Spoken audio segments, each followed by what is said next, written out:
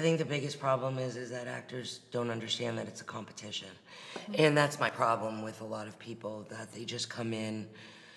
They come in at a general read, or they come in without um, marinating on the material and creating the circumstance and creating the environment for themselves, and and they think that that's enough, and they're satisfied with just good. And um, I've seen people come out of nowhere that have made it and because they had the little crack to the door that opened of opportunity.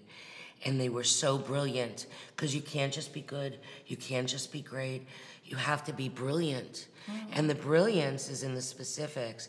And so how are you going to understand the specifics unless you spend time marinating on where things are for you in a deep specific way